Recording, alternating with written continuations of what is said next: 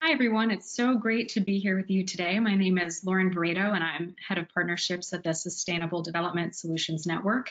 It's my great honor and pleasure on behalf of the Kingdom of Bahrain, the Sustainable Development Solutions Network, and UNESCO to welcome everyone to the celebration of the inaugural International Day of Conscience. The Kingdom of Bahrain had originally planned to convene us in person at UN headquarters, but unfortunately the COVID-19 situation has changed this plan and plunged the world into its deepest crisis since World War II. Uh, that aside, we're very grateful for the opportunity to come together virtually with you and to share in this goodwill and message of this day. We hope everyone tuning in online is staying safe and we're glad that you could join us. What more important time could there be for a message of peace? I also want to thank all of our wonderful participants joining online and our incredible speakers. We have a great lineup today. I'd like to briefly remind everyone of some logistics. Please keep yourselves muted when not speaking, and we're using the chat feature if you have any questions for our speakers. So feel free to chat them over. We'll have some time for that at the end of the broadcast. We've also got several resources uploaded as handouts. So the agenda is there as well as some instructions on how to use the GoToMeeting software and a PDF to troubleshoot any audio issues, particularly if anyone finds that they're not getting sound and they can't hear anything. Um, you can also use the chat if you have any issues with that. And so now that we've gone over our logistics, without any further ado, it's my pleasure to turn the microphone and the floor over to SDSN Director and United Nations SDG advocate, Professor Jeffrey Sachs. Jeff. Good morning, good afternoon, and good evening to people all over the world. Thank you so much for joining this virtual celebration of the first International Day of Conscience. Obviously, we are gathering together virtually today at a at an unprecedented moment. Uh, certainly one of the most dire crises of modern history. Uh, all of humanity is in peril. Uh, the COVID 19 virus has already claimed more than 70,000 lives and has infected well over 1.3 million people around the world. Every country is affected. More than half of the planet is now on a a lockdown or a shutdown uh, economically to try to stop the spread of the infection. People everywhere are at risk, everywhere. But we must remember today the special vulnerability of the poor. They lack income, they are losing jobs by the tens of millions, they are unable, unlike others, to stay fully sheltered. Uh, they are therefore highly vulnerable to uh, the contagion and they lack, by definition of uh, poverty, assurance to health care, adequate food, safe water, and other basic needs. Rich countries are voting trillions and trillions of dollars of uh, emergency response, as they should. But what can the poorest countries do? We urgently need global solidarity to ensure that the poor, as well as the rich, can battle and surmount this scourge. We will need emergency international funding, emergency supplies, and very deep debt relief for indebted developing countries in need. For all of this, we are grateful to have an International Day of Conscience to support the best in the human spirit, to build a culture of peace, and to honor the United Nations Charter, the Universal Declaration of Human Rights, and the UN system in its 75th year this year. The International Day of Conscience was adopted by the UN General Assembly on the 25th of July 2019 in the 73rd session of the UN General Assembly. According to the resolution that created the International Day of Conscience, and I quote, the International Day of Conscience constitutes a means of regularly mobilizing the efforts of the international community to promote peace, tolerance, inclusion, understanding and solidarity in order to build a sustainable world of peace, solidarity, and harmony. The resolution explicitly recognizes two great institutions, the UN Educational, Scientific, and Cultural Organization, UNESCO, which gave rise to the concept of the culture of peace more than 30 years ago, and the UN Alliance of Civilizations, which promotes intercultural dialogue We are very lucky to have outstanding leaders of these two world leading organizations with us today. Let me thank the Kingdom of Bahrain for its championing of peace and understanding and for being such a vital custodian of this important day. The Kingdom of Bahrain has brought us together virtually. Uh, they were going to bring us together at UN headquarters. We are most grateful to the Kingdom. Let me also thank UNESCO and the Alliance of Civilizations and great humanitarian leadership organizations, uh, including the One Campaign. Now it is my very deep honor to welcome our uh, first uh, guest, the Honorable Maria Fernanda Espinosa, a world-leading diplomat, environmentalist, and humanitarian who was president of the UN General Assembly in the 73rd session from September 2018 to September 2019, and who led the way to the UN General Assembly's adoption of the International Day of Conscience. Maria Fernanda Espinosa has brilliantly served her country, Ecuador, as foreign minister and defense minister. And it is a great honor and pleasure to introduce a friend and someone that I admire so much. Uh, I turn the microphone over to you now.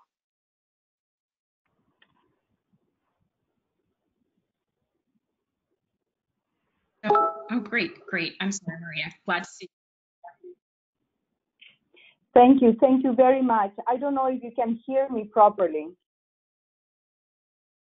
We hear you well. Okay, yeah. well, very, well, good morning, everybody, and thank you, the organizers, for bringing us together to commemorate the first ever International Day of Conscience.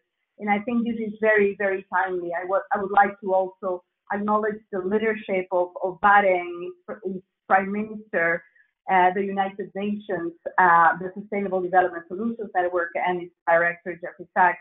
I uh, convey uh, my gratitude to all the panelists today. I think uh, this commemoration, as Jeff uh, very well put it, it, is very timely. I think that we need precisely now to foster greater understanding, greater solidarity, greater mindfulness now it is the time to, to truly build a culture of peace uh, to face this COVID-19 pandemic, uh, which uh, has put under stress and fear the entire humanity. Uh, I believe that uh, today, today uh, more than ever, we are aware of our sense of belonging to the human family, and that we have realized how vulnerable and frail we all are and uh, this crisis is about uh, understanding that our life depends uh, on um, the conscious of oneself and of others, and uh, that we should uh, acknowledge that we are radically interdependent. I think that, as we all know, uh, COVID-19 is having unprecedented impacts in the way we live, the way we communicate, the way we interact, and also in the way we produce and consume. So, but perhaps more importantly, in the way we uh, all look at the future. I think that uh, we have to use this catastrophic scenario as a wake-up call uh, to our conscience. Uh, we have uh, the opportunity to build a new common sense. Uh, we cannot be the same. We cannot act the same. We cannot pretend that everything is going to be okay we need to craft collectively radical change. And, uh, and uh, perhaps uh, I would like to, uh, to contribute to this conversation to talk about very briefly what have been the lessons learned in this, in these past weeks and months. Um, and, and to see, to draw from that, to think about our collective future. First of all, the, the, the very uh, fact that inequalities and poverty are determining factors for vulnerability and access to healthcare and public services in general. The second lesson learned is, lesson learned is that we do need strong health systems, that universal health coverage has to be considered a common, a common public good, a human right, and that um, this uh, this pandemic pandemic has showed that um, the impact is stronger in vulnerable communities such as refugees, persons with disabilities, and women. And perhaps just a note on, on women because they are and have been at the forefront of this crisis as, as caretakers, as health workers. And uh, women represent 70% of the global healthcare workers, and they are, of course, key uh, to the response to the COVID 19 pandemic. But at the same time, women, women and girls are experiencing higher level of domestic violence in the wake of the pandemic. So this is, uh, of course, uh, requires um, a global response. Um, several alternatives are on the table. Um, hundreds of analyses, uh, ideas have emerged in different areas. Secretary General Antonio Guterres has called for an immediate global ceasefire uh, to help people in zones of war to receive uh, life-saving aid to fight the pandemic. High Commission on Human Rights has urged governments to release uh, persons detained without sufficient legal basis, including political prisoners, to prevent catastrophic rates of infection. General Assembly has just passed a resolution last week on the economic front. Uh, we have the uh, we have uh, uh, heard several calls to rethink our economies, our financial architectures. There are countless analyses and options from debt relief to a new Bretton Woods UNCTAD uh, has called for a 2.5 trillion coronavirus crisis package for developing countries uh, to turn solidarity into meaningful global action. And uh, very importantly, South Center has called for a waiver on intellectual property rights on equipment, treatment, and prevention of COVID-19. So we have had a plethora of well-intentioned, well-articulated analysis and proposal. and I believe that we need uh, an exercise of resimplifying, of, of rewriting the narrative. We need to redefine key concepts such as wealth, for example. Uh, just a few days ago, uh, the owner of a huge bank in Spain uh, died because he couldn't uh, reach the hospital uh, sooner. And I think that the new currency has to be measured by the number of masks and ventilators that a country is able to produce or buy. Uh, well-being should be defined by our by our very ability to breathe, and affection perhaps has to be defined by the number of smiles, of emojis or phone calls that we can make, and of course uh, the very concept of sustainability has to be uh, more than ever grounded on preparedness and resilience. Uh, so what it is clear is that we need a new social contract based on solidarity, on generosity, and uh, for these proposals to translate into action, we need the obvious. And the obvious is a strong multilateral response, global leadership, shared responsibilities, collective action.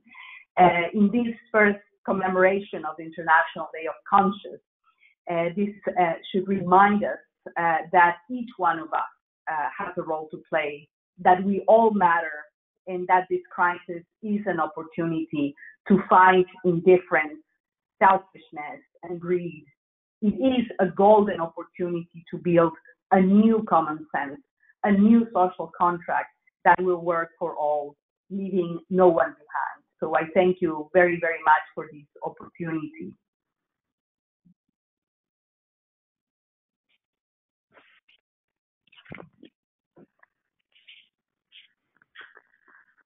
Thank you so much, Ambassador, Espinosa. Um, I really liked your point calling for greater mindfulness in these challenging times and also to create radical change, um, particularly to address COVID-19, but also for our many uh, challenges.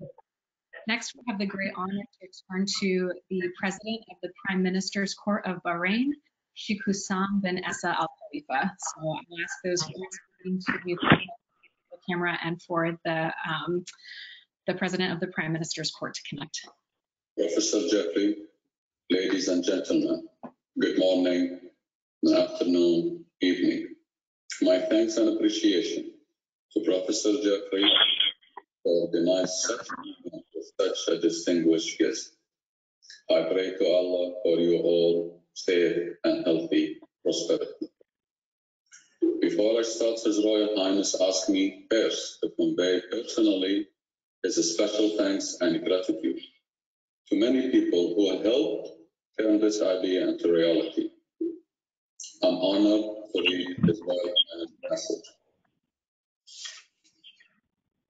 On this International Day of Conscience, we should inspire to recognize the importance of value of world conscious, to combat the threats to the world, future, and the achievement of our joint objective for a world of peace and harmony. The value that alert the world to the necessity of shouldering our collective responsibility while recognizing that our collaborative effort are to be of value, they must reinforce global unity and fulfill the inspiration of all people. Peace, growth, and stability are achievable goals, but only with a clear concept of many threats humanity faces and in the determination of unified global response. It's our sincere belief that the initiative in calling for the observance of International Day of Conscience reflect upon God's behest to humanity as is told through the word, words of his Prophet Muhammad, peace upon him. Mm-hmm. Conscious is the ray of light and hope that, that direct us in everything that reinforce the value of love and peace, cooperation, understanding, the provider of peace. There is no escaping the fact that the world is facing a global challenge.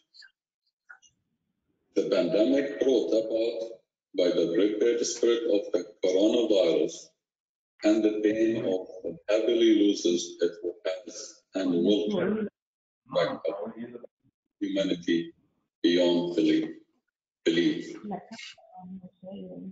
If a proof is needed that humanity is up is a one, we look no farther than the manner of spread of this virus. It's a threat global, making no distinguish as to race, color, or creed. It is one of the certainly does not recognize national, nationality, classes, or social standing. The consequences are tragic.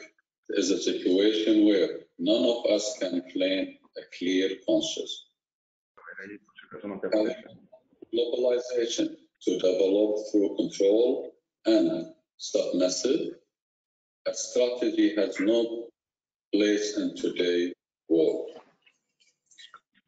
We need to encourage a shift toward a policy of humanitarian globalization and use this day of conscience as the starting and defining world conscious that has universal humanitarian value. One that stand for and adequate peace and compassion while representing everything that promotes justice and equality. Only an assertive and truthful conscience can inspire humanity in dealing with the pandemic or for that matter other crises such as those brought about by property. If we are to lead, pioneer and contribute with purpose to the fulfillment of a human aspiration, we must do so under the umbrella of the United Nations. On this day of conscience, we had an opportunity to maximize our contribution to the potential for change and the incentive that drive development. It is an occasion to listen to our conscience, the strong and loudest inner voice of love and peace that guide us toward taking a pioneering role in promoting policy that harness the philosophy of world conscious to serve humanitarian objectives. To see a future in which achievement of civilization are available for a future generation, then it is for us all to endure world conscious with its natural vitality to enable to interact generically with all efforts that seek a sustainable future that covers unity and harmony for the sake of a global cooperation, justice, equality, and respect for human dignity. In conclusion, we would like once again to thank the United Nations for its pioneer role in advancing understanding and the culture of peace by hosting this webinar in the most difficult circumstances. Finally, we call upon the international community to devise a strategy to enhance the concept of global health security. Thank you. Assalamu alaikum wa rahmatullahi wa barakatuh.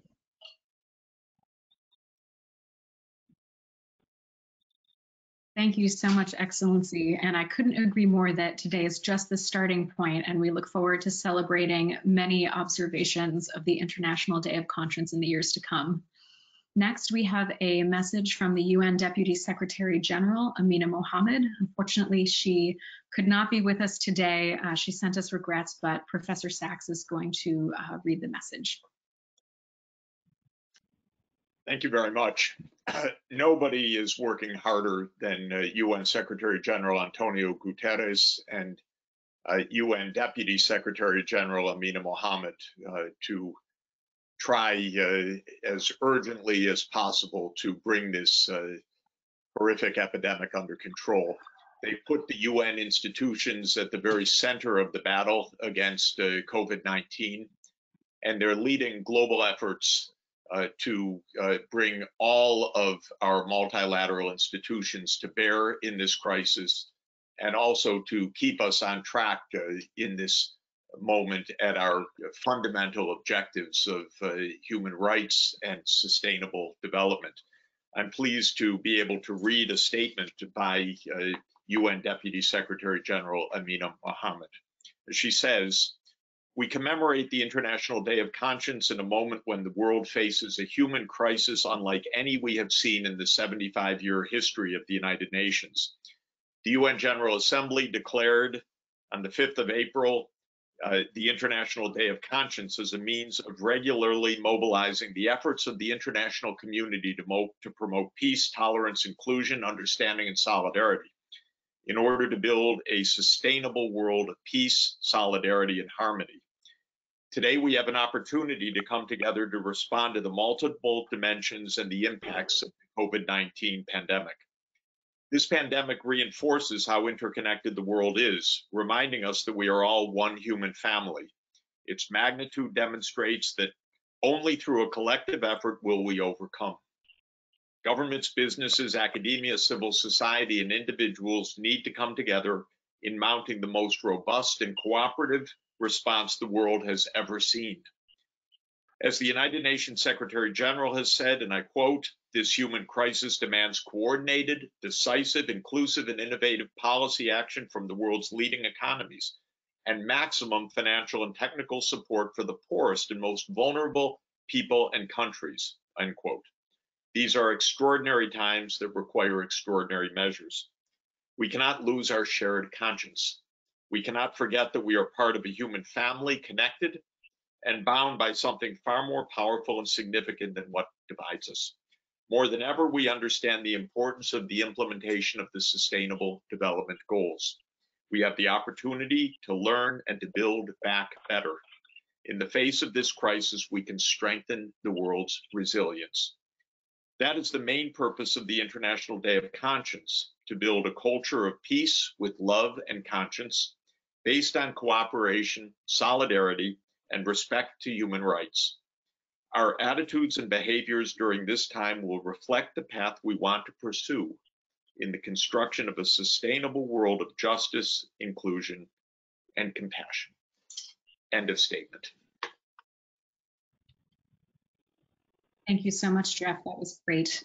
Um, So also uh, keeping with the theme of the COVID-19 at this dire moment in the global pandemic, we're also fortunate to be able to share some video remarks from World Health Organization's Director General, Dr. Tedros Adhanom Ghebreyesus.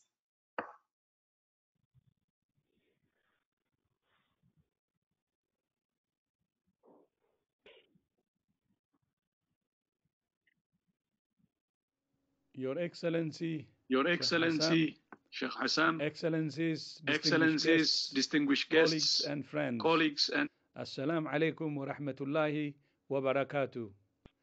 I would like to thank His Highness Prince Khalifa, the Prime Minister of Bahrain, for his vision and leadership in initiating this day. The COVID 19 pandemic is reminding us that although we have different languages, traditions, and beliefs, Hello. we're one human race. We share the same DNA, but we also share the same hope for a life of peace, harmony, and health. The International Don't Day is a powerful reminder that we're united Hello? in our struggle against a common threat. The only way to defeat the pandemic and save lives is by working together as one in a spirit Hello? of solidarity. A new coronavirus is taking so much from us, but it's also giving us something special Hello. the opportunity to work together as one. COVID 19 will leave a deep scar for many individuals, families, communities, and nations. But my hope is that its legacy will Hello? also be a world that's more connected, more united, and more harmonious. Shukran jazilan, Your Highness, for this incredible Hello. uh, achievement and shukran jazilan Bahrain. I thank you. Hello.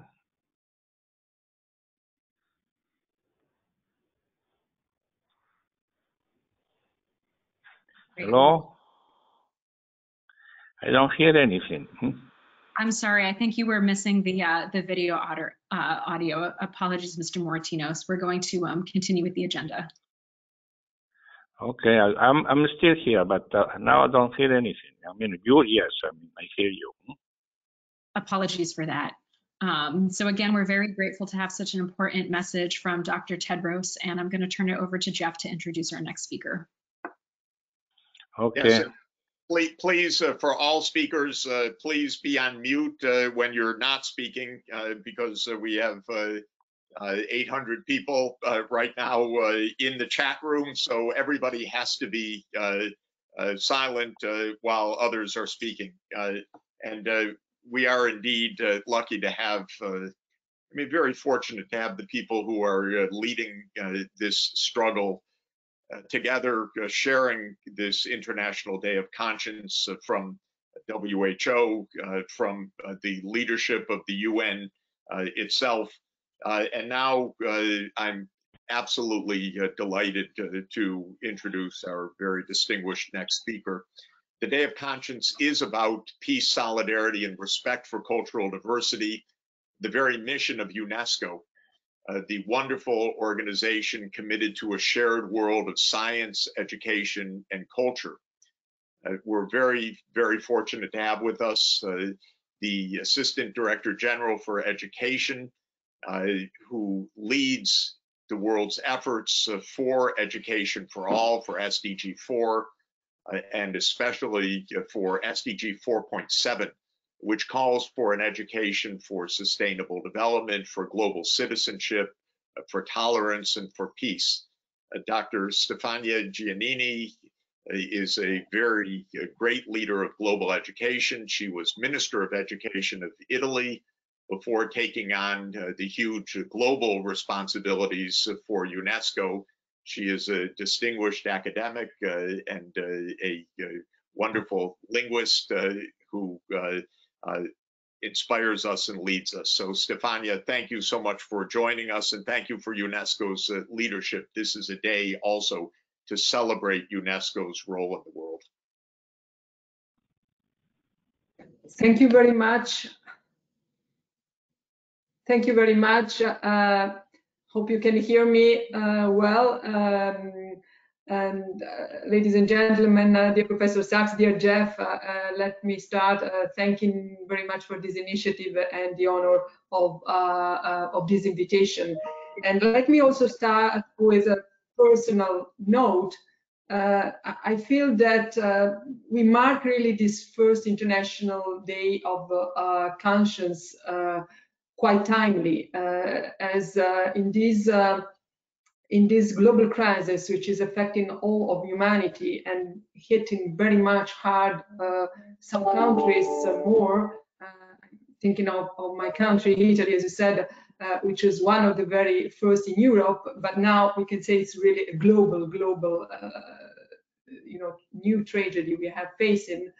We see our extreme vulnerability and the role of conscience.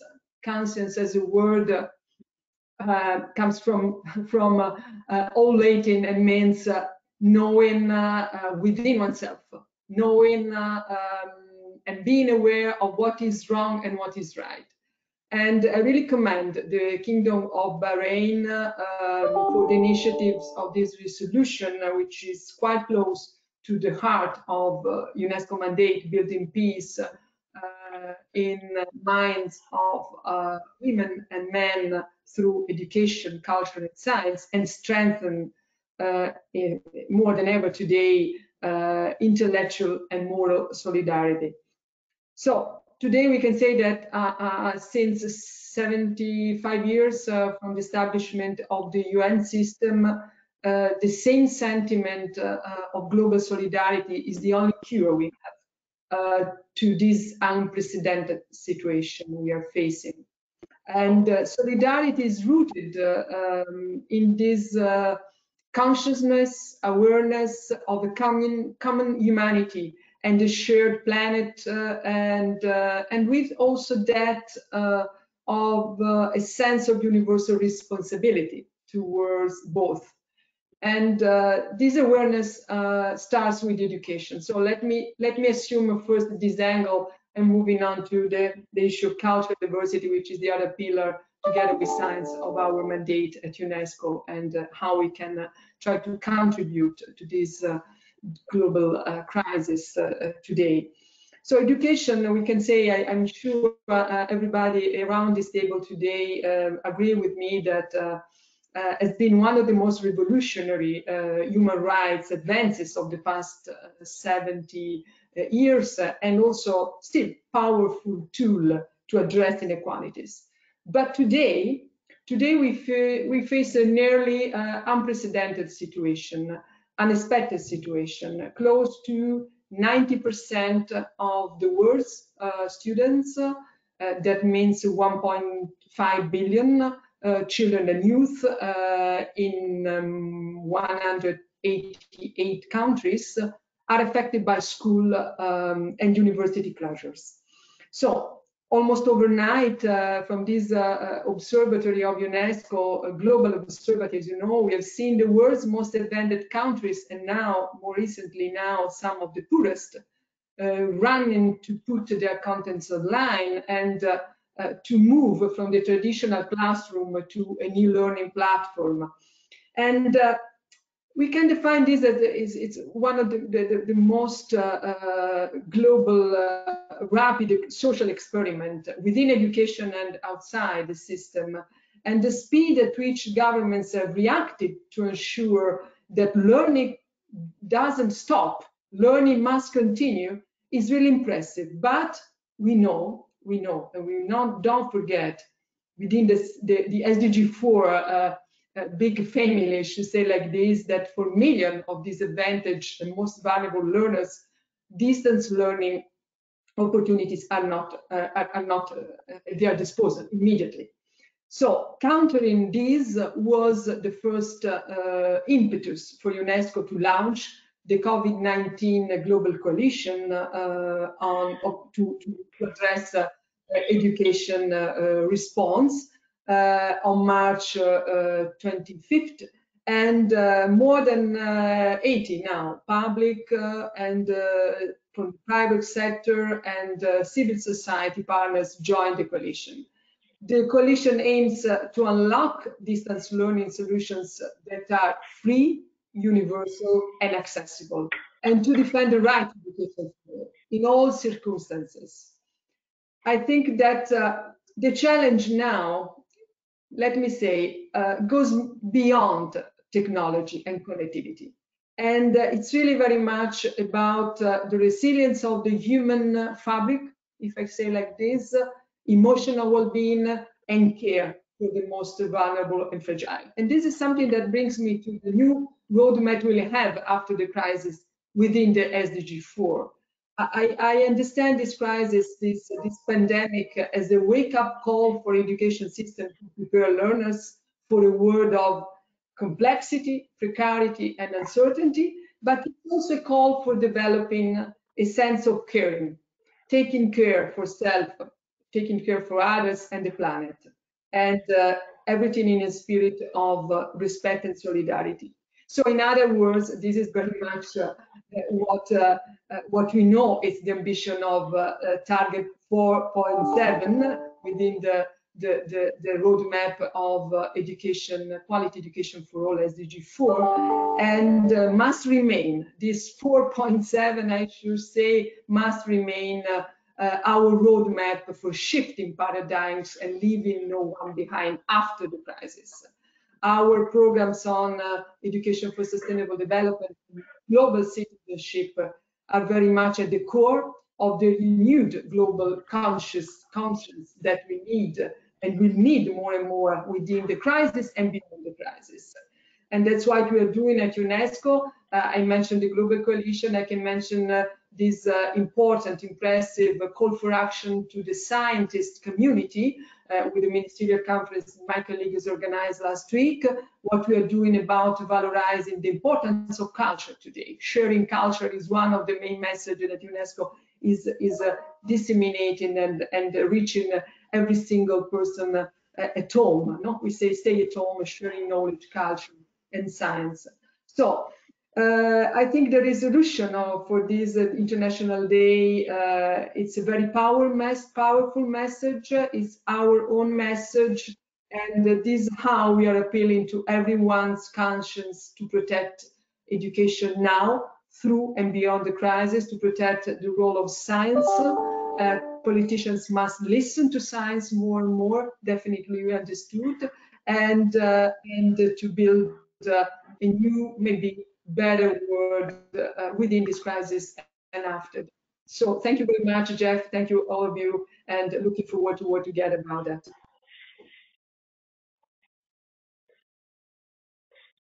Thank you so much, Ms. Giannini. Your points about ensuring access to distance learning for the world's most poor and vulnerable, or you know, finding alternative solutions to them in this critical time is a is a vital point to make today. I'd like to remind people that we will have some Q&A at the end of the broadcast. And so we've been getting a few questions via the chat, but if anybody else has questions they want to put to our panelists, just a reminder to keep sending those in. We're keeping track of them. Um, so we're moving on to some more wonderful speakers and special guests. It's my great honor and pleasure to now introduce two-time Academy Award winning actor and producer, Mr. Michael Douglas, who also is a great humanitarian and serves as a UN messenger of peace.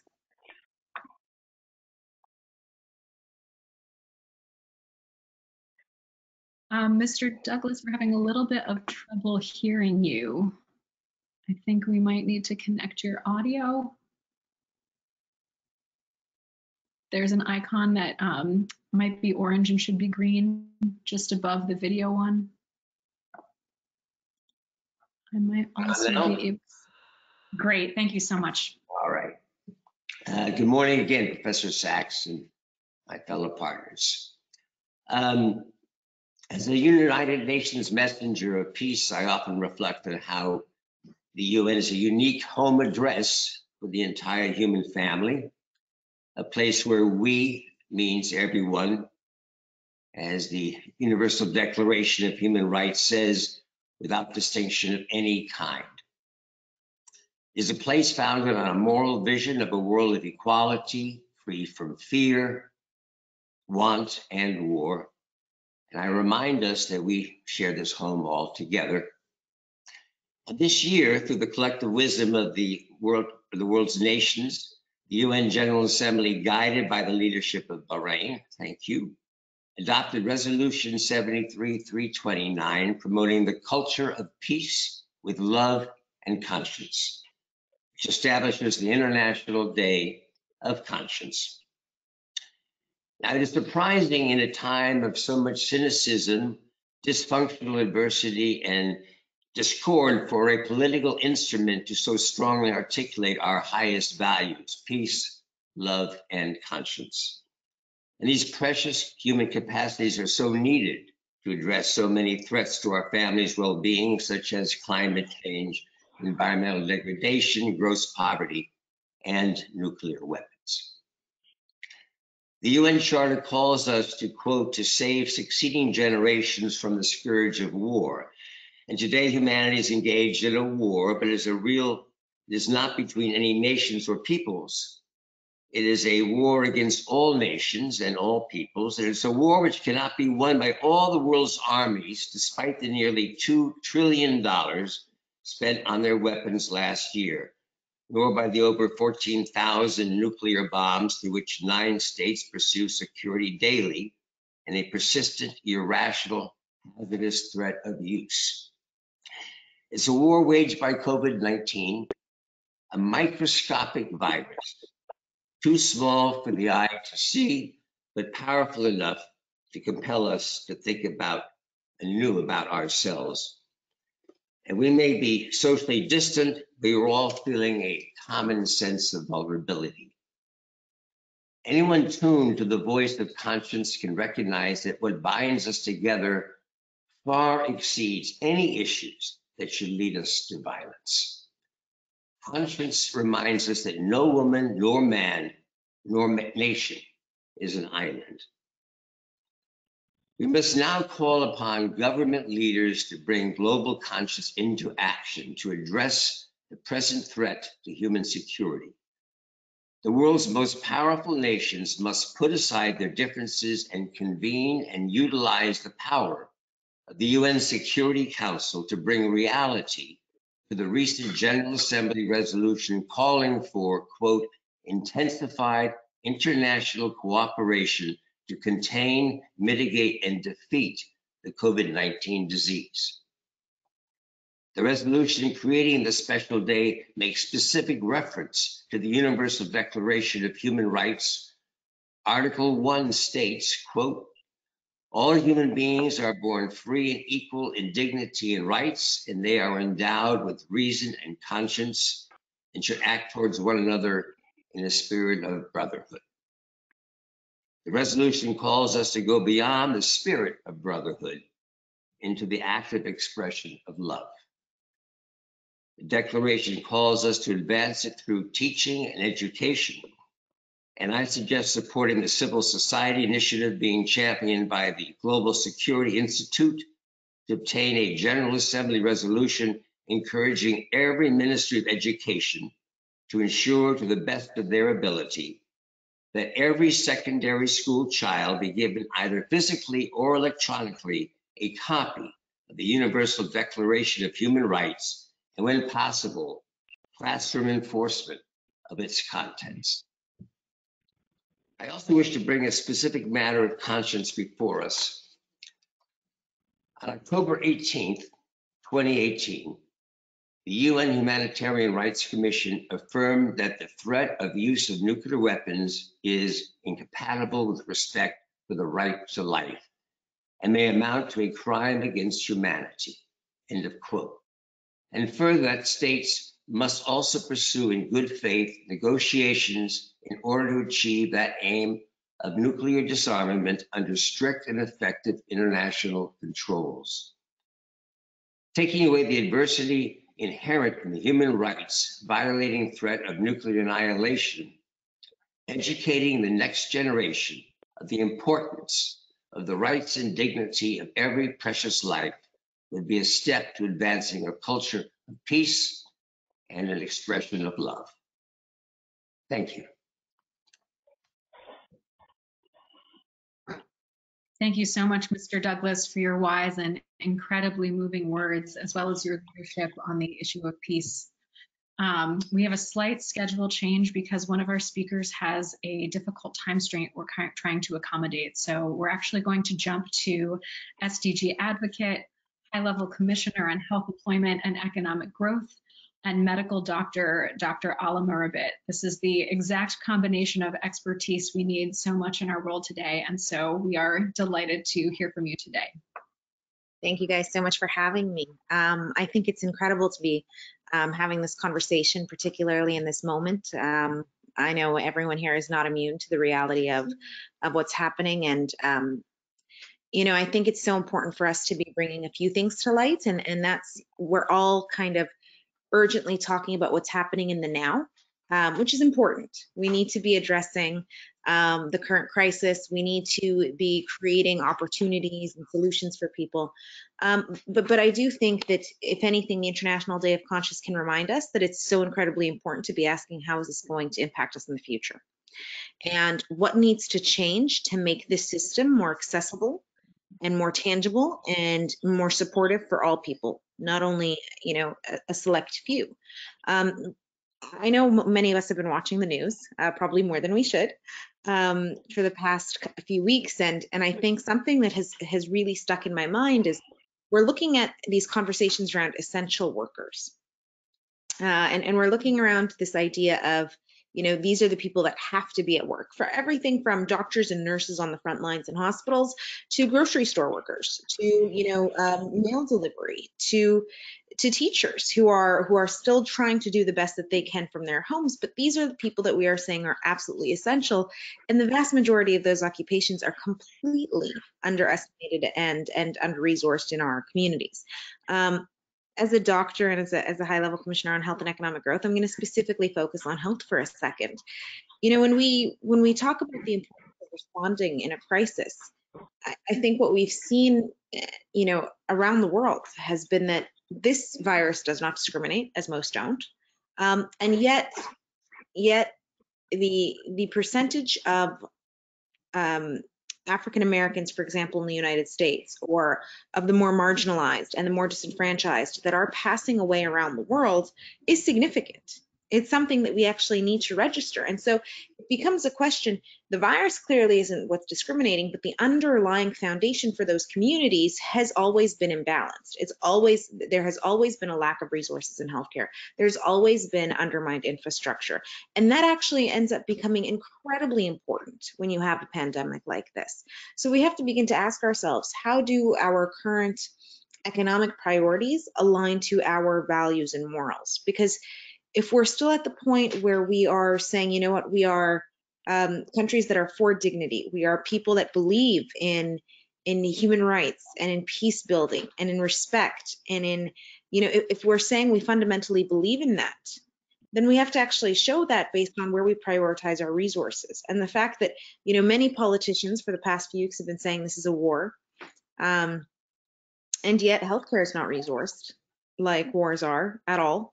Um, you know, we have we have nurses around the world who who are going into work, if that, um, if they're if they're able to going into work wearing garbage bags. And so I think we really need to it really brings to light such an important conversation, which is if we say that we are about fundamental human rights, and and and if we are today talking about really you know bringing to light the difficult conversations that we need to be having what does our current healthcare system and, and what does our current economic model say about the value of human life.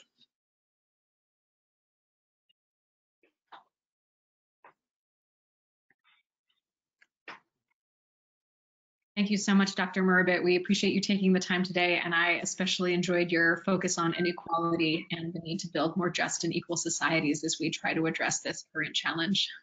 No, um, thank you for having me. It was wonderful to be here, and I apologize that I um, had that 10 o'clock hard stop.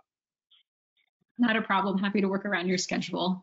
Uh, Jeff, would you like to jump in again to introduce our next speaker, please? I would indeed. Uh, thank you, Alaa, and uh, uh thank you, uh, Michael Douglas, uh, for your leadership and your very, very powerful words really resonated.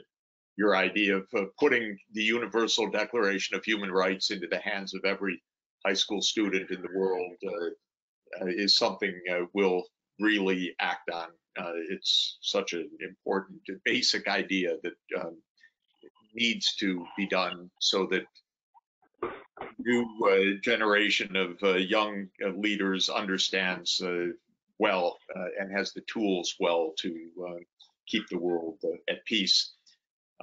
one of the institutions that is recognized as a, fundamental leader in the culture of peace is the United Nations Alliance of Civilizations. and it's my great honor and pleasure to introduce uh, the leader, the High Representative for the Alliance of Civilizations, Miguel Angel Moratinos, who is a great friend, a great champion uh, of sustainable development, uh, who is one of the world's uh, most experienced and savvy diplomats who knows the world. He uh, was Spain's foreign minister for six years. He's been engaged in solving tough problems uh, in all parts of the world. He's a great friend of the UN Sustainable Development Solutions Network. Uh, Miguel, it's a, thank you so much for being with us uh, and uh, thank you for the leadership of the Alliance for Civilizations. It's a, uh, we're, we're all very excited to hear your thoughts.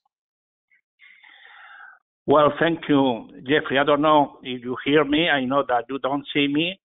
That is the technological uh, challenge still in, we, we in some, well, Okay, thank you. So let's start by, of course, uh, by greeting all of you uh, here in Europe and different parts of the world and to commemorate this uh, International Day of Conscience. I think uh, you refer to that, uh, Jeffrey, the UN General Assembly Resolution 873 was uh, the one who promotes culture of peace with love and conscience. And everybody will have referred to that. And of course, we have to command the leadership of the King of uh, Bahrain, King Hamad, and of course, uh, also, you know, the, His Highness uh, Prince Khalifa bin Salman and uh, the governor of Bahrain for this uh, this resolution. The UN United Nations Alliance Civilization, was the, among the first to support the resolution. We also received last year uh, a delegation of the Parliament of Bahrain in order to see how we could implement this resolution. Because it's not enough just to make a call to decide to have a UN International Day, it's how this principle of conscience, how we are going to implement on the ground. And of course, I have to commend my dear friend, the president of the 73 session of the UN General Assembly, my dear friend Maria Fernanda, Thank you, Maria Fernanda, for your leadership and your continued engagement in this issue.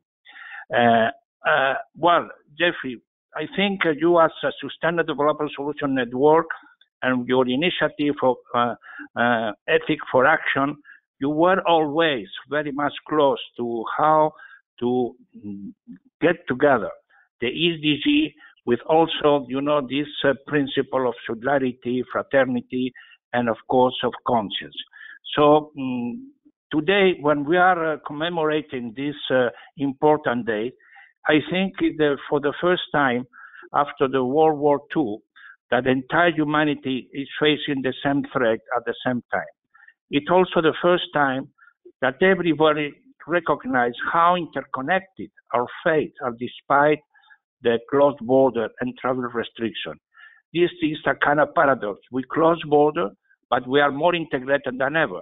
So really, that is something like us to think about.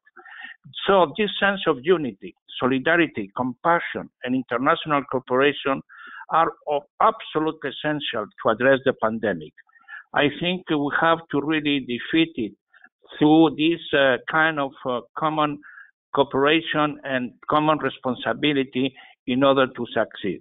That's one of the reasons that uh, we, with my dear colleague Adama Dieng, we, we really sense, we call for a joint appeal in order to really uh, create this sense of uh, humanity, solidarity, and compassion. So that is the way that the Secretary General also uh, us, Adama Dieng and myself, to produce and to continue to develop this uh, call. But before to leave uh, this uh, important gathering of today, I was thinking last night how we can really understand what the word conscience means. And I think uh, I think we have to really go to a very important, let's say, philosophical political discussion. I mean, uh, science, conscience, and consciousness. That is a trilogy that we have to refer. Of course, uh, the science has uh, produced a tremendous evolution and the scientific revolution. And we can practically today welcome all the advanced discoveries, neurodata, neurodite, uh, you know, this brain uh, computer interface. We are at the end of, uh, you know, this long road of science that have discovered to all of us. But the, what is the paradox? The paradox towards this uh, pandemic, with this uh, crisis, uh, what is the, the solution? The solution that are given to us, doctor and medical the sector, is that uh, washing our hands with soap for 30 seconds. So that is a bit ironical. After all the advancement of uh, scientific revolution, we have to go to the old traditional uh, habit for uh, a healthy, a healthy environment. So uh, science will never be only without conscience, and that is the important element of conscience. What is conscience? If you Google the word conscience, the word, as commonly used in its moral sense, means the inherent sense of every healthy human being to perceive that what is right and what is wrong, impelling us towards the right direction. And definitive is the sum of moral and ethical principles that control, guide, or inhibit the thought of action executed by each individual. If an individual is guided by their conscience and what is entailed of social and moral responsibility, then one's conscience will lead him or her to the right direction. And that is do the general good, namely solidarity, fraternity, compassion, and to love your neighbor. Nevertheless, science plus conscience are not enough. We need the third angle so that our triangle is complete. Here comes consciousness. You may ask, what is the difference between conscience and consciousness? And again, if you find the definition, they say consciousness is the function and the state of awareness of the human mind that receives and processes information, store it or reject it. It is proven that the more information one is able to gather and process, the more aware and the more conscious one becomes regarding one's internal and external world. Awareness and wakefulness represent the two main components of consciousness. So, my dear friend, this triangle will help us in the implementation of International Day of Conscience. Science will continue to explore innovative solutions. Conscience will lead us to right direction, and consciousness will trigger our awareness and what is morally right and what we have a social and moral responsibility toward our friends and neighbors in the broader sense that transcend neighborhood to cities, countries, and continents so that solidarity, compassion, fraternity prevail for the good of all humanity. So that is my small contribution in this day of uh, International UN Day of Conscience. Thank you very much.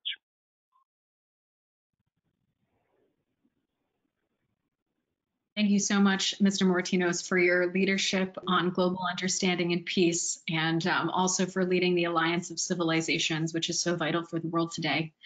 We are now very lucky to have a video message from Mr. Dominique de Villepin, the former Prime Minister of France. And with apologies, again, uh, Mr. Moratinos, unfortunately, the technology, I'm not sure you'll be able to hear the video. So for you, it might be a couple moments. Thank you. Thank you very much. Thank you. Thank you.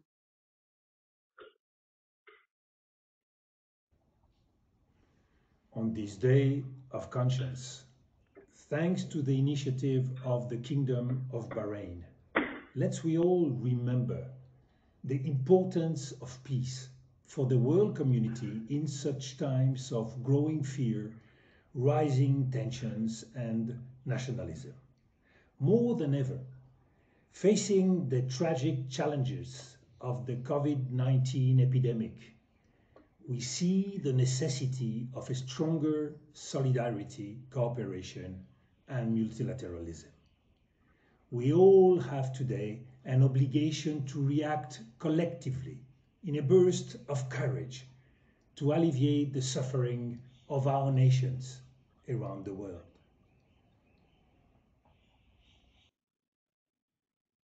No nada ya.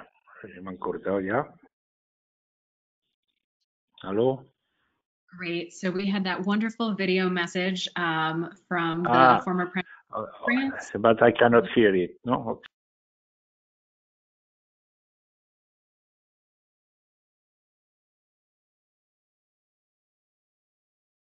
Um, but we are now moving to some video remarks we have from Tanzanian parliamentarian. Uh, she's also a professor. We have a video from Anna Kajumulo Tibaijuka.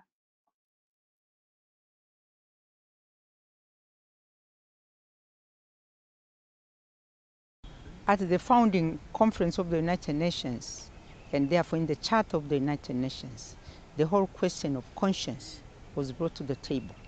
Because as human beings, we must run our life on principles, on values. And conscience is a gift from God. Everybody has a conscience, everybody knows what is right and what is wrong. You don't actually need a preacher, you don't need a, you know that this is wrong, it is wrong to kill, it is wrong to not to love people, it is wrong to be lazy. All the things that human beings value, they are actually universal because they are based in our conscience. So, but it has taken 75 years. This year, when we celebrate 75 years of the United Nations, the world has finally come together to define common principles along which we can govern ourselves internally. Because self-government, go- governance by each one of us through our conscience is a key. I would, I would like to take this opportunity to congratulate, as I said, the people who have spearheaded uh, this campaign. It has, it has been such a, a difficult campaign. It has taken so long, but finally the work, the word has come together.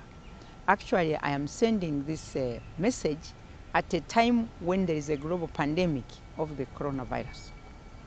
And you can see that humanity across the continent, as we confront the, corona, the coronavirus pandemic, you can see it has pricked our conscience. You can almost say that it is not just a coincidence, it is actually almost like a divine intervention.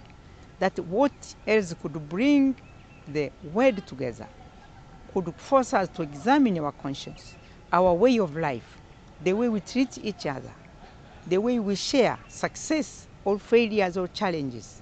So you find that it takes a disease by a virus, a creature which is so small, it cannot even be seen, but look at its power. So the, when we talk about conscious, we mean values, we mean love, we mean sharing, we mean solidarity, we mean peace, we mean prosperity for everybody. So we are talking about responsible, uh, leading a responsible life, making sure that we have sustainable development. The, the, the, the, the, the, the 17 uh, sustainable development goals, they are all pricking our conscience, whether you're looking at food, hunger, challenge of hunger, whether you're looking at the question of the women question, gender equality, whether you're looking at the well-being of children, whatever you touch, it will finally prick your conscience. So the message I would like to send is that this is a, a wake-up call for all of us. It is a common rallying point that how can we make our world a better place? Must, mu- must it take a pandemic like coronavirus to bring everybody on the table? To, to, to show the futility of nuclear weapons, for example? We, what is the use of nuclear weapons in the face of a pandemic like the one we are facing? So I would like to zero in my message on this principle that united we are strong, divided none of us is safe. So we must promote our common interest. And this common interest is, is innate in all of us. It, we are born with it. We have to love all, we have to serve all, we have to promote peace, prosperity, because together we shall be successful but divided we shall fall. This is the message I'm sending, and once again, I would like to congratulate the sponsors of this uh, event, the Kingdom of Bahrain, His Royal Highness Prince Khalifa bin Salman Al Khalifa, Sheikh Hussam, who has also been really spearheading this, and Mr. Hong in the FOPA, and all the participants, the people who have been working on this project, Nobel Prize laureates and all other who have been working very hard to make sure that we come where we are now. So from Tanzania, I should say asante sana, karibuni.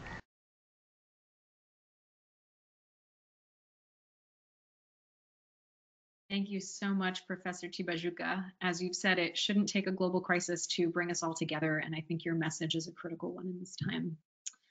Our next speaker is a great scientist, conservationist, and humanitarian, Dame Jane Goodall. Dr. Goodall is the founder of the Jane Goodall Institute, as well as the global organization Roots and, Roots and Shoots. She's also a UN messenger of peace and an inspiration to people around the world. We're so grateful to have you with us, Dr. Goodall.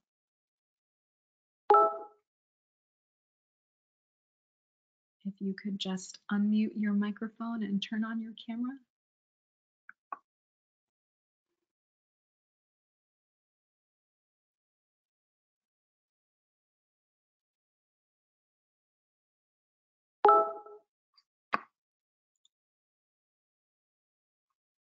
Okay, it looks like we might be having a little bit of a connection challenge with Dr. Goodall.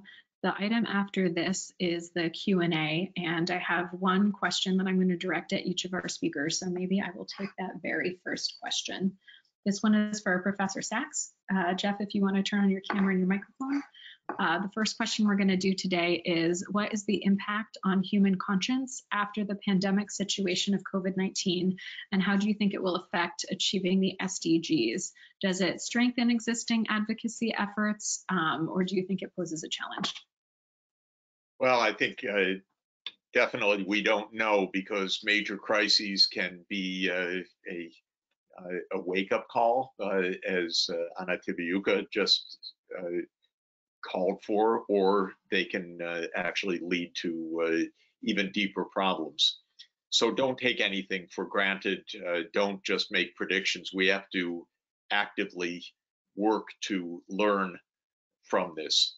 Uh, right now, uh, the signs are uh, very dangerous, not only the virus itself, but the closing borders, the nationalism, of course. we're seeing countries blaming each other, very, very dangerous right now. Uh, and so there's nothing that assures us that we come out of this stronger.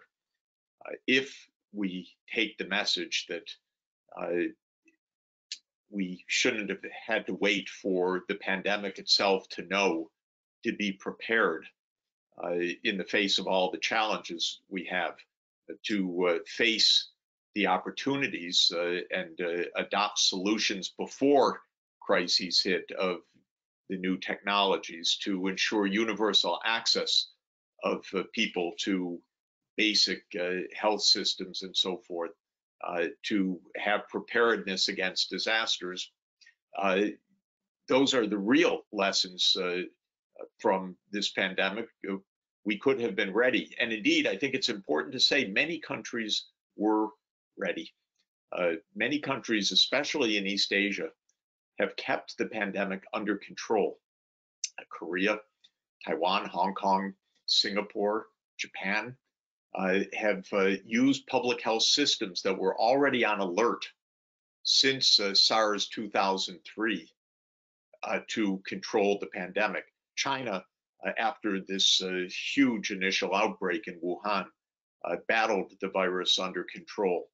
So preparedness can work, uh, and we need to be prepared. We need to use the Sustainable Development Goals as a roadmap, which it is. It's not just something we do because it's a homework assignment. It's something that we do because it will build a better future. Let's stop listening to uh, reactionary voices that say, oh, that doesn't matter, this doesn't count.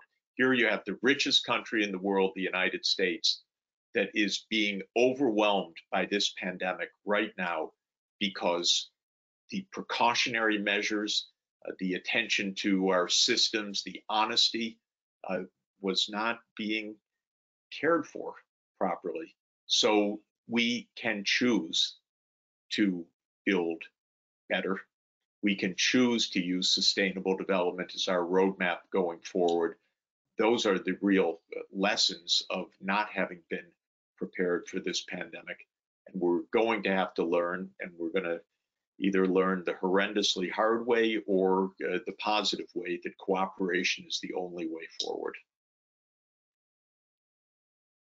Thank you so much, Jeff.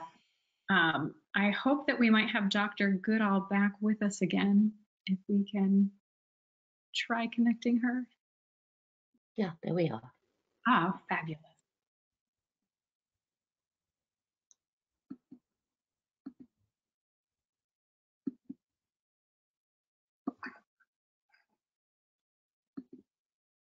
No, I know. Can you hear me? Yes, we can hear you. Webcam thing isn't opening. My entire computer crashed.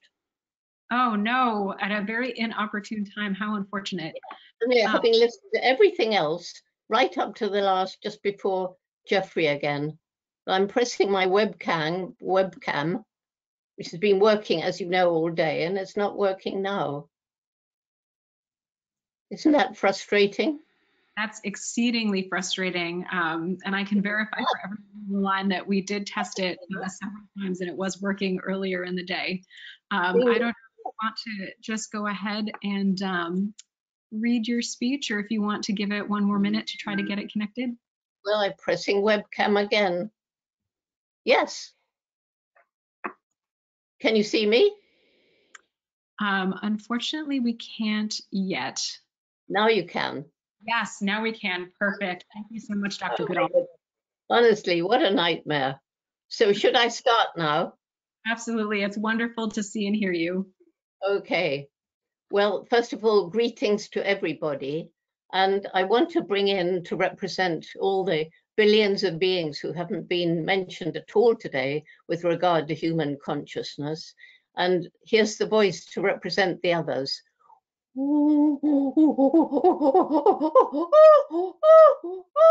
Simply means me, Jane, and chimpanzee. Well, as we all know, we're going through very dark times as this COVID 19 pandemic sweeps around the world. So much suffering as people fall sick, including doctors and nurses on the front line, working selflessly to help others. The tragedy is that we've not learned from past pandemics of this sort, even though we know how they originate, even though the one we're experiencing now has been long predicted.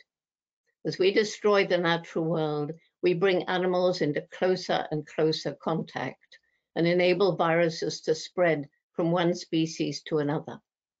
The meat markets where wild animals are sold for food create conditions that enable viruses to jump from an animal to a human and create a new mutation, such as this COVID-19.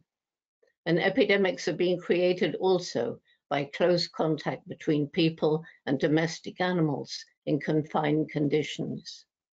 During my 85 years on planet Earth, I've witnessed the horrific harm that we've inflicted on the environment and the terrible cruelty that we've inflicted on each other.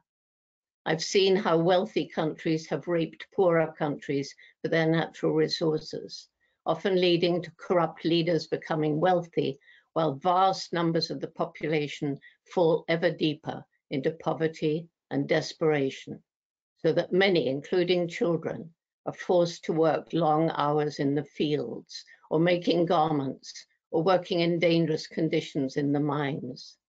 They make just enough to keep them alive so that we can buy cheap goods and the rich can get richer. Today, we should think about the growing gap between the haves and the have-nots, the crippling poverty, not just in the poorer countries, but in the wealthiest. Homeless people in London and New York sleep on streets where the wealthy walk past without a thought to ride the elevator to luxury apartments and champagne dinners. So many of us take things for granted. We buy food in the supermarket and waste a lot. There's always water in the tap or to flush the toilet. Yet there are millions of people living close to death from lack of food, getting sick from contaminated water, and now fleeing from parts of the world that have become uninhabitable because of the climate crisis. And the climate crisis is having the most devastating effect on the poor. It's not only from war and persecution that refugees flee today. Millions seek refuge from an environment that has become increasingly hostile and they meet hostility of a crueler kind in the places where they finally arrive. And on this first inter International Day of Consciousness, let us realize we're not the only sentient beings on the planet.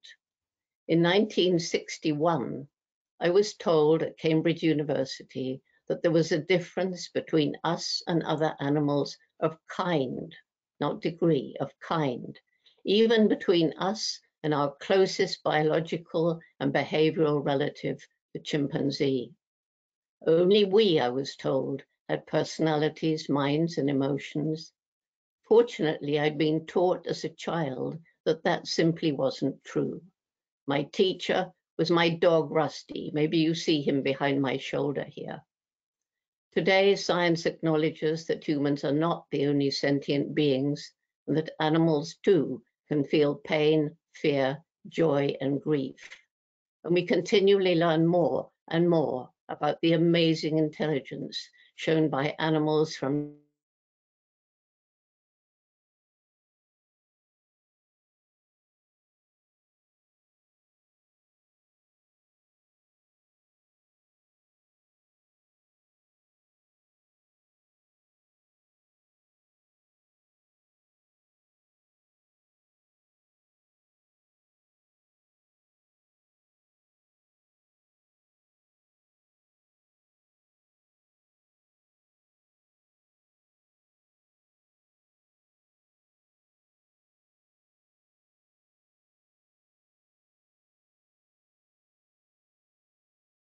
Lauren?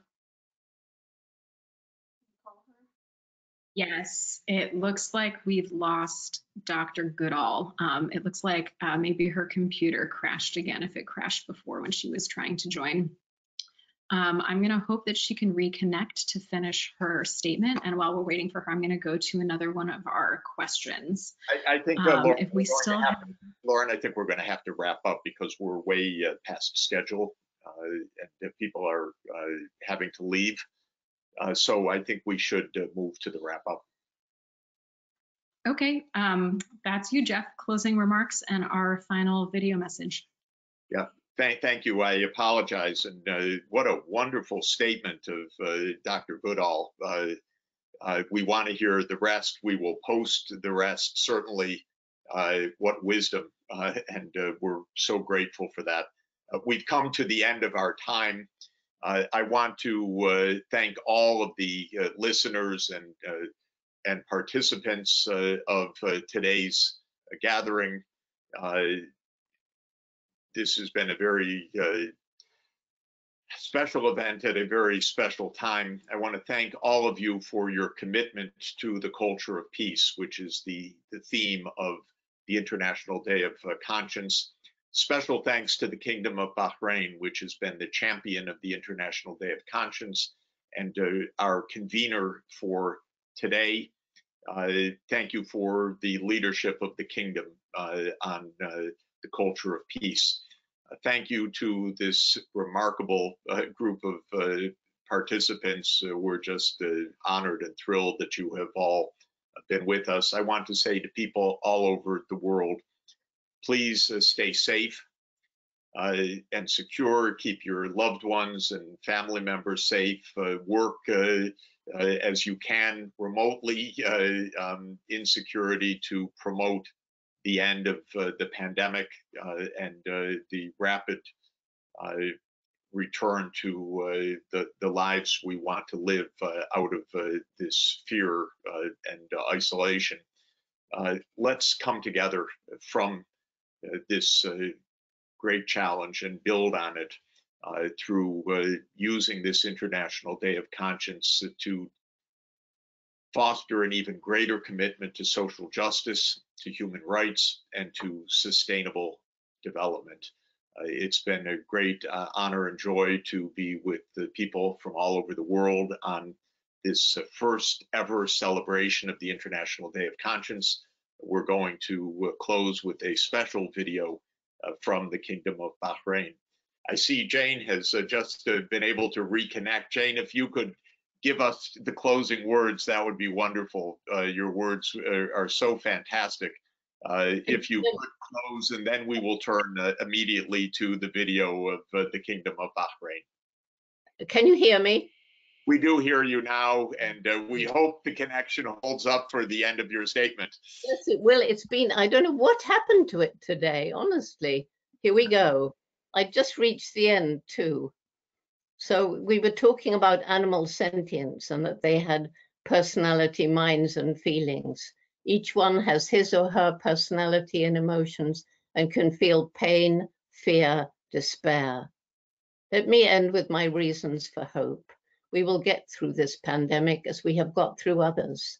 Many of us will have realized as we are confined to our houses, as we face shortages of supplies, especially toilet paper, that we should no longer take our freedom and our health for granted and that we should have more respect for the natural world.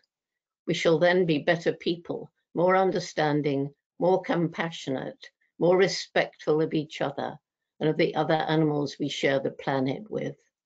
This is the first International Day of Consciousness.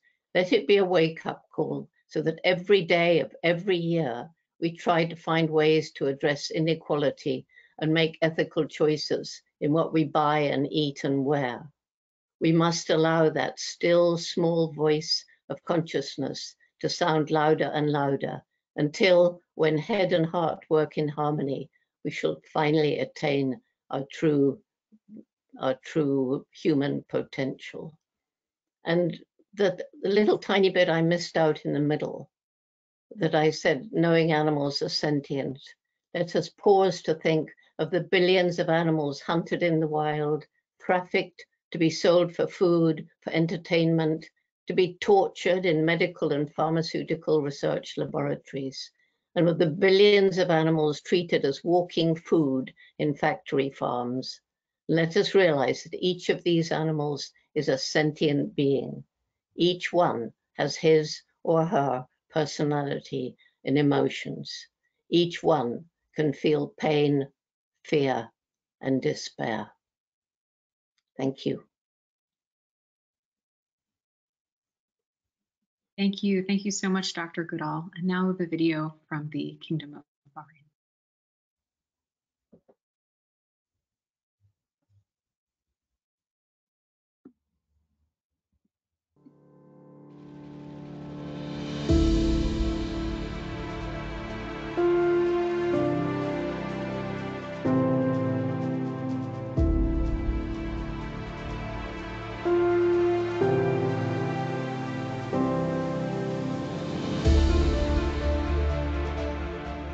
The visionary role played by His Royal Highness Prince Khalifa, the Prime Minister of Bahrain, in promoting peace and strengthening relationships among the people of the world should not be underestimated.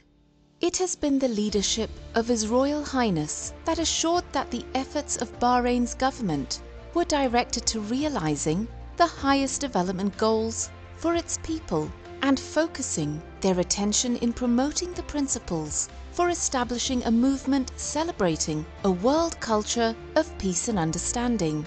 An effort irrespective of race, colour or creed where all people would come together across the globe and work to preserve the right of all to a healthier environment and a secure and peaceful lifestyle.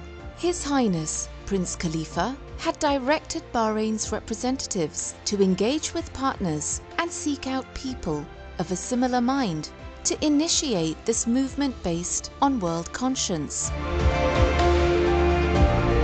In the initiating message to the United Nations General Assembly, His Royal Highness had stated that there is an urgent need for an occasion on which all people can unite to intensify efforts that preserve the right of all to live in peace and harmony within secure and stable environments.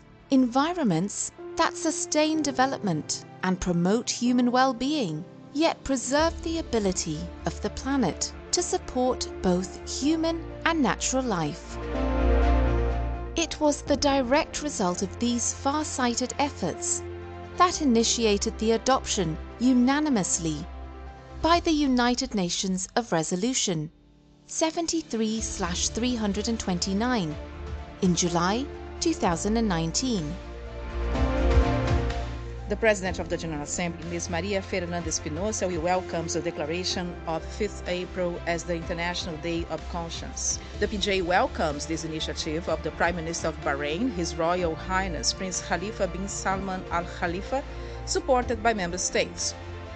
After the official announcement at the United Nations, His Royal Highness received many congratulatory messages from all the ambassadors to Bahrain and one from His Excellency Mr. Antonio Guterres, the Secretary General of the United Nations, who welcomed the efforts of His Highness in promoting peace and prosperity through the Day of Conscience.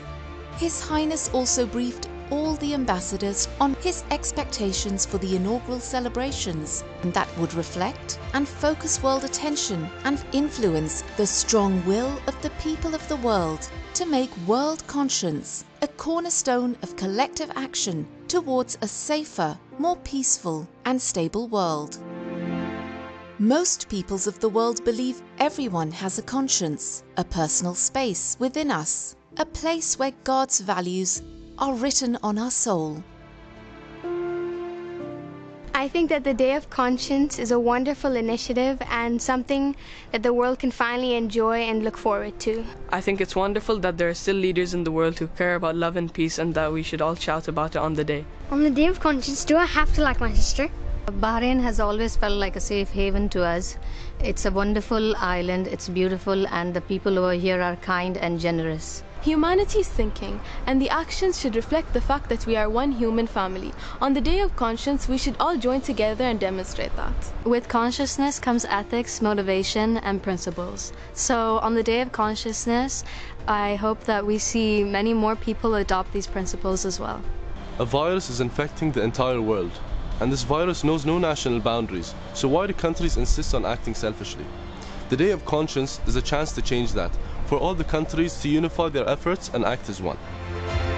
The Day of Conscience provides an occasion for all those seeking an opportunity to join His Royal Highness, Bahrain, and the people of the world in making world conscience the cornerstone of collective action, specifically in the advancement of building a world culture of peace with love and conscience.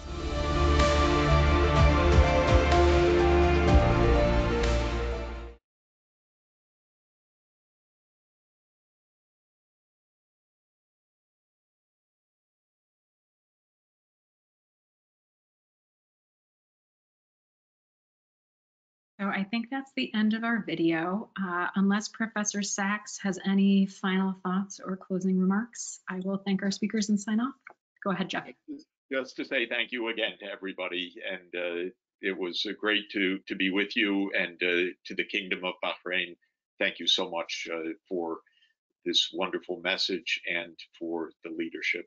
Uh, I see Stefania maybe you, uh, also uh, waving goodbye from UNESCO uh, in Paris.